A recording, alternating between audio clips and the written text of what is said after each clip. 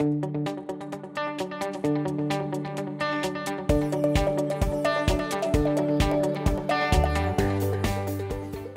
I'm Merlin Glynn and I'm a product manager here at VMware.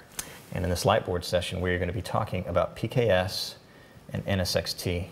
We're not going to do a, a real technical deep dive. We're going to kind of get mid-level and describe what actually happens with NSXT um, and the way that PKS implements Kubernetes clusters. So first thing we're going to do is we're going to look at a little bit of, of some core routing topology. Um, so in your environment, you're probably going to have some core routing that already exists. And when we talk about deploying NSXT with PKS, um, we're going to create something, an NSXT construct that is also a router. It's very, very equivalent capability, and we call it a T0 router. Uh, and this is, this is very much an NSXT construct. And it links with your existing routing um, via a routing protocol or static routing, but you know, BGP is probably the more efficient way to, to have some dynamic routing between those two, two objects. So this is going to allow us to be able to ingress and egress from all of the various Kubernetes clusters that we're going to be deploying with PKS. We're going to drill into like a single cluster, but bear in mind as we talk about this that we can have multiple clusters all coming through this T0 embankment. Now the way this T0 is implemented, um, you know, we're going to be talking about a couple of, of uh, NSXT constructs. So uh, one of those we just mentioned is the T0. Um, we're also going to be talking about a T1, which is very similar, which is a secondary tier router. Uh, and we're also going to be talking about load balancers. Now the way those are all implemented is we have something called an edge cluster.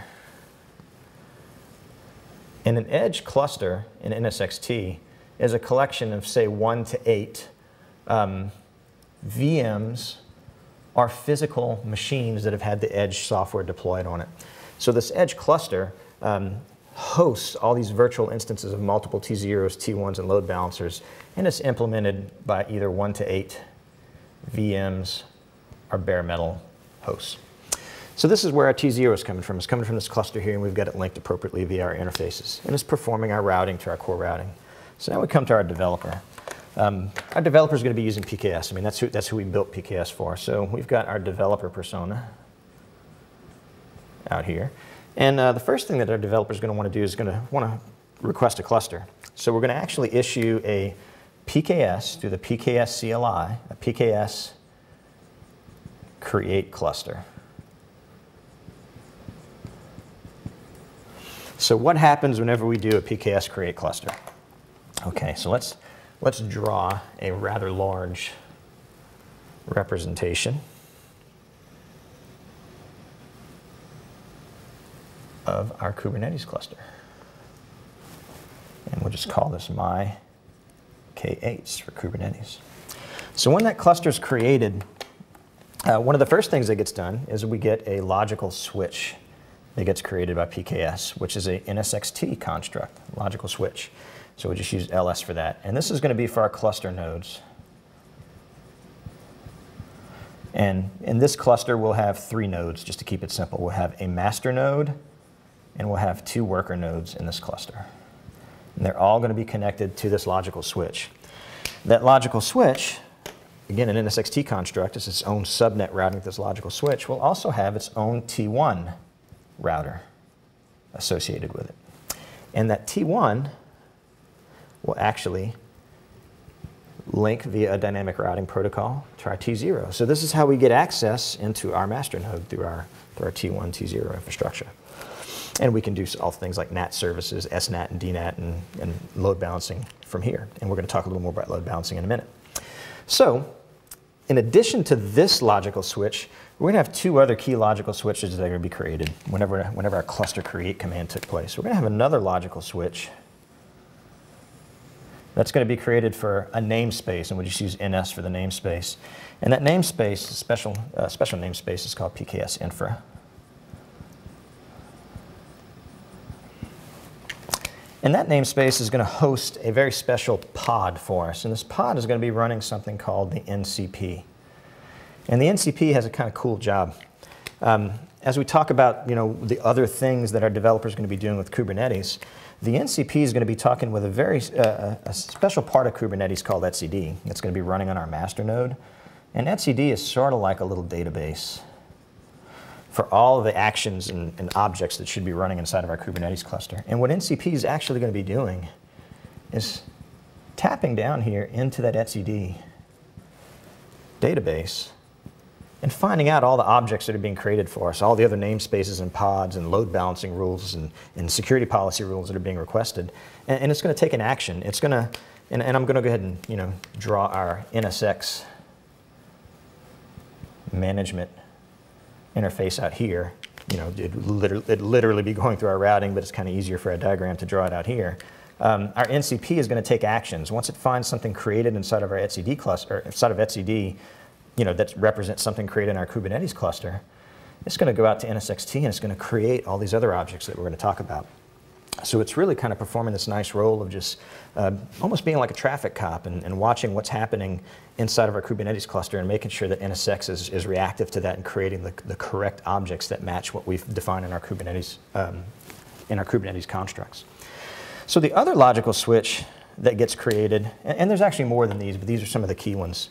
Uh, the other logical switch that gets created is every cluster that gets created in PKS gets a load balancer. And so a logical switch also gets created for that load balancer.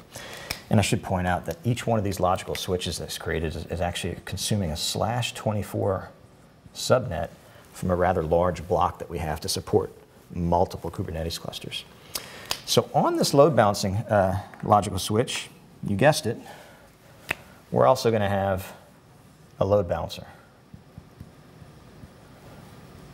An NSX load balancer, which is a lot, remember, sort of like a logical construct that's being, that's being serviced by our edge cluster out here. And so both, both the, the load balancing logical switch and the PKS infra logical switch have their own T1 routers. And these T1 routers are also linked to our T0 so that we can route amongst the logical switches in our cluster, route to other T1s and other logical switches in other clusters if we so deem that we want to allow it, and also route ingress and egress to the rest of our infrastructure. Now, if we go back to, so these are all the things that, that are some of the things that happen whenever we create a cluster and, and some of the interaction with NSXT. So if we go back to our developer, uh, now instead of using the PKS CLI, let's say he or she is using the kubectl CLI. And one of the first things we want to do is we want to create a namespace. So what happens whenever we create a namespace, remember we've got NCP sort of watching what's happening here through our connection with etcd and, and making sure that we create the relevant constructs in NSXT, um, is we'll get, a, we'll get another logical switch whenever we create our namespace. So we'll make this logical switch and we'll put it namespace equals A. It's the namespace A that's been created for us. And again, it gets a slash 24 so we can host 250 pods on it. And the pods, that, you know, we might have two pods running here. So that's going to be our, our other action that our developer's taken. Not only is he creating a namespace, but he or she is also creating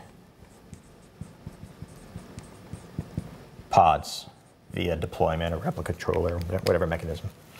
So these pods get attached to this other namespace is these are all being dynamic, you know, the logical switches and the interfaces to connect to these pods are all being dynamically created for us via the NCP triggering actions here and some other agents running on SATA, running on each of the workers. So not only do we get these logical switches, but we also get another T1 connected to the logical switch and dynamically routing here. And so, you know, as it lays out, if we decided we were going to create another namespace, this, this task repeats repeats on and on. So we have another T1 with another logical switch for namespace B. And it's running a slash 24 as well. And we've got some pods on there.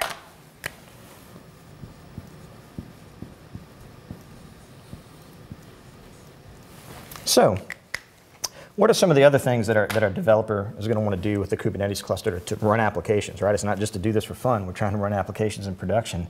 So one of the key things that we need is uh, security, right? And we need, we also need uh, access. So we need to expose a service, and we can expose that via ingress or load balancer. And what happens when we expose a service, so we might have these two pods running as a service. These two pods um, are an a, a, unique application that we want to we want to expose as a single unit inside of the cluster, and we call that a service. Uh, but we want to expose that service externally. So what happens is whenever we use the kubectl API to expose a service uh, externally, is we'll actually have NSXT map an external, and I'm just using the term VIP, an external IP or virtual IP that's routable out here in our external segment, uh, but that literally runs an ingress into our load balancer object for our cluster. And then our load balancer object, you know, through this T1 routing mechanism, because we can route from logical switch to logical switch, will actually be able to communicate directly to the back-end pods that are tagged when we created our Kubernetes cluster.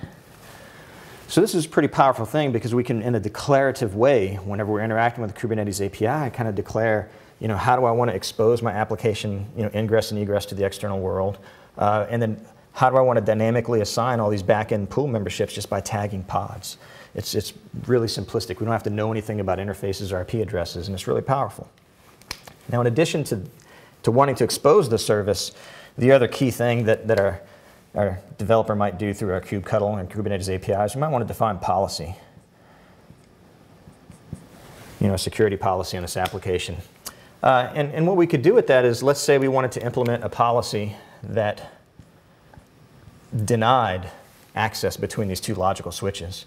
We could, we could actually write a bit of YAML that we feed into our Kubernetes API that says, hey, um, I want to deny based on pod membership from this namespace to this namespace and implement a distributed firewall dynamically in our NSXT infrastructure that prevents that. We could tag on namespaces, we could tag on pods, we could tag on IP blocks, so we can even control ingress and egress patterns inside and outside of the cluster. So it's a really powerful mechanism that we can be declarative in the way that we do our security uh, and, and implement some pretty powerful container-aware security constructs.